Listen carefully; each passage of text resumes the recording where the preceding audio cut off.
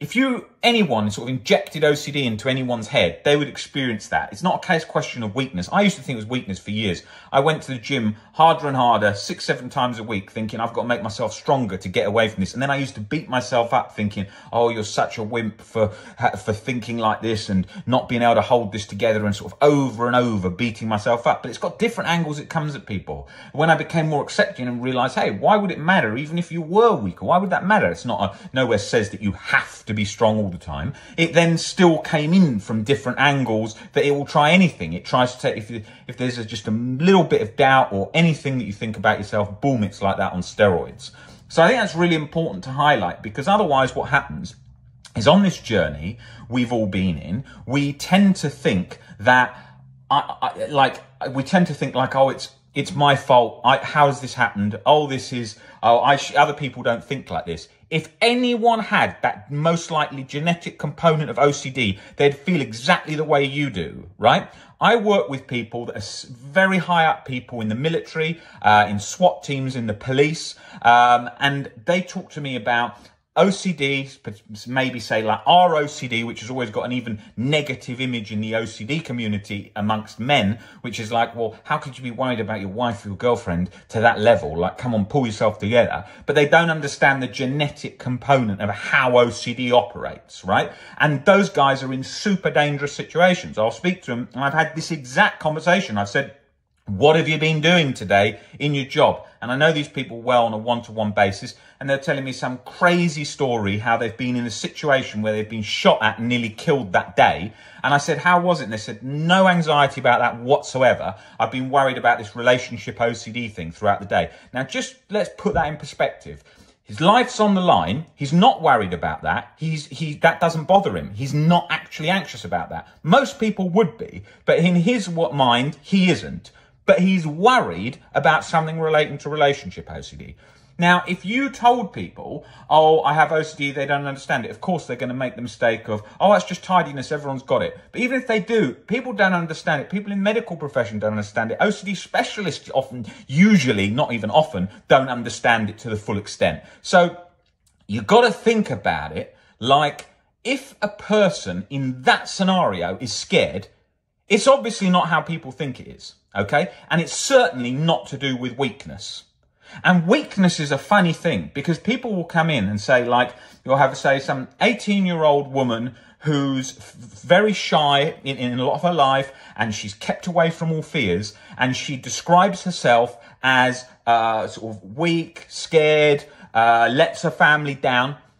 Go and then do the hardest exposures, overcome everything, has like lived with OCD for five or six years, dealing with it all herself, done all the work for recovery, um, like for, through reading and being proactive and doing everything herself, and just become a completely uh, really confident still all her usual personality traits she wants to keep but become really confident overcoming everything super brave with it, it, it the way the world works is we label ourselves one thing say oh i'm weak i'm strong. I could put somebody that you think is really strong in a situation that's difficult and then they will back out every time right? So and especially with exposures like that especially with shame attacking exercises. People often say, and I used to say, I used to say, oh, I'm not scared of anyone's rejection or whatsoever. Uh, yeah, you try the Albert Ellis exercise of walking a banana down the street. Nobody likes that. Okay. Uh, so it's, it's, these things aren't like we think they are. It's the same as how nervous do people get about asking someone out,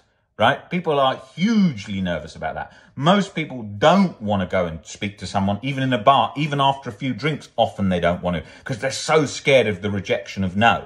But as Albert Ellis said when he went to the Bronx Botanical Gardens and he went and asked out 100 people, he got over that fear in a day. And uh, we've all had that. I used to have that one, uh, not being, not wanting to ask people out, um, out initially, thinking, "Oh, what if I got rejected?" It was never a major problem for in in, in, in my my life, but it was a problem where uh, we all had that barrier. Ninety nine percent of people have that barrier.